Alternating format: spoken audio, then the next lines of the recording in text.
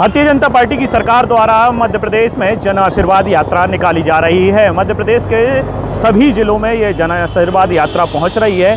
अलग अलग इसके रथ बनाए गए हैं अलग अलग रूट बनाया गया है और हम आपको बता दें मध्य प्रदेश के छतरपुर ज़िले में भी जन आशीर्वाद यात्रा पहुँच चुकी है। अभी हम आपको बताएँ कि कल दिनांक 18 तारीख को जन आशीर्वाद यात्रा पन्ना से होती हुई, अजयगढ़ से होती हुई चंदला विधानसभा में पहुँची थी और चंदला विधानसभा में रोड के ज़रिए रोड शो भी हुआ और बस स्टैंड लवकुश नगर में जनसभा को भी संबोधित किया। हम आपको बता दें, इसमें जो अतिथि रहे हैं, अतिथियों की बात करें तो उसमें ब्रजेंद्र सिंह खनिज मंत्री रहे हैं, मंत्री राजेंद्र शुक्ल भी मुख्य अतिथि के रूप में रहे हैं, जिन्होंने जनता को संबोधित किया और भाजपा की तमाम जो इस पाँच वर्ष में जो उपलब्धि रही हैं और जो पूर्व में भी भाजपा की सरकार रही है, उसकी उपलब्धि गिनाई कांग्रेस को काफ़ी वहाँ पर कांग्रेस के जो 18 महीने की सरकार रही, उसको कोसा भी गया।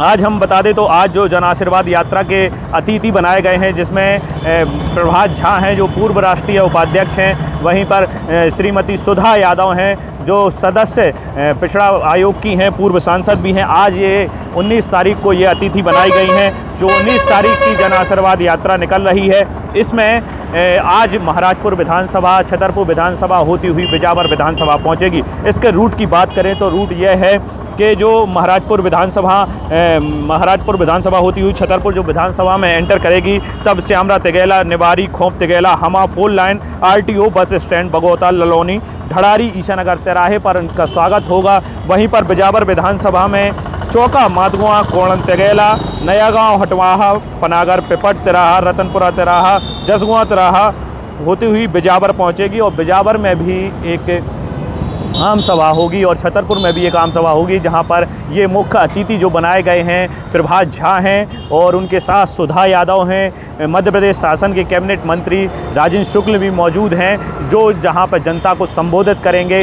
ये आशीर्वाद यात्रा जो निकाली जा रही है, ये सभी विधानसभाओं को छूती हुई निकलेगी और यहाँ पर हम आपको बता दें, आज बिजावर में रात्रि विश्राम होगा। कल बिजावर से बड़ा मलहरा की ओर रवाना होगी और बड़ा मलहरा होती हुई टीकमगढ़ की ओर रवाना होगी। तो इस तरीके से जन आशीर्वाद यात्रा जो आ रही है ये इसका रूट रहेगा और यहाँ पर जगह जगह स्वागत किया जाएगा।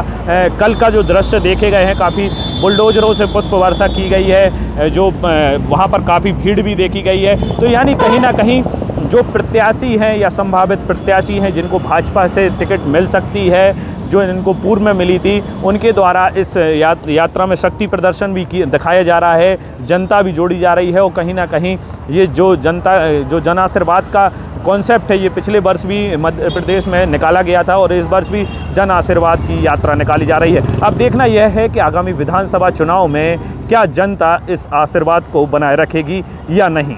संजय अवस्थी के साथ सुबोध त्रिपाठी पैप्टिक टाइम छतरपुर।